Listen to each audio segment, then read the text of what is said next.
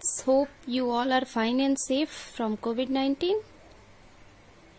Today is your computer turn, and today I am going to explain that how you have to write in your copy.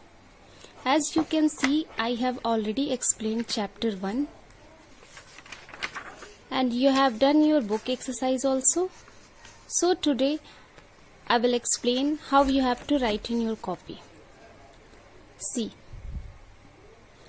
first you have to write chapter.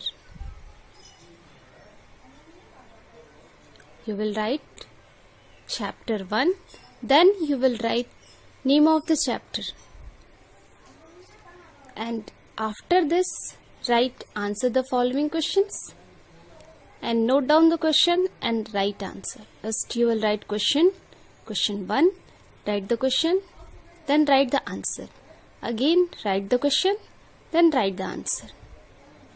Is this clear? Write in your copy neat and clean with proper spellings.